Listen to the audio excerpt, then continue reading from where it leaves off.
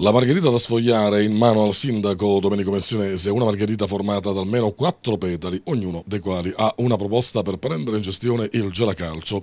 Il primo cittadino ieri ha fatto una full immersion calcistica, lui che non è propriamente un appassionato di questo sport. Ha incontrato i potenziali acquirenti del club biancazzurro, ha parlato con loro ed ha cercato di capire quali sono i programmi che ognuno di loro porta per subentrare alla famiglia Tuccio, la quale ancora ieri mattina ha confermato allo stesso primo cittadino che non ci sono più le condizioni per andare avanti.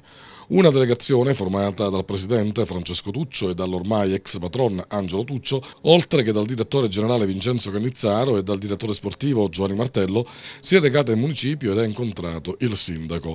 La presenza in particolare dei due direttori è soprattutto servita per chiarire che il Giana Calcio come squadra è ancora una struttura viva e vegeta.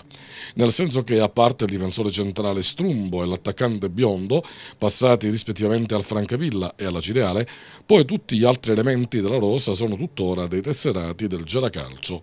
Per cui, volendo, domenica a Pomigliano d'Arco si potrà tranquillamente presentare una squadra di tutto rispetto per onorare il primo impegno stagionale in Serie D ma non con la dirigenza Tuccio alla guida del club. Già da oggi, insomma, si dovrà sapere chi sarà a subentrare al timone della navicella bianco-azzurra.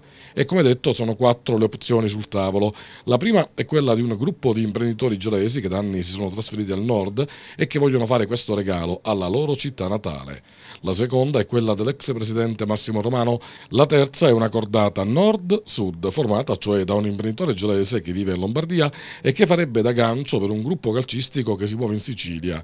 Ed infine quella che porta Franco Proto, storico presidente dell'Atletico Catania, che pare aver espresso un certo interesse su questa opportunità di acquisire la società gelese.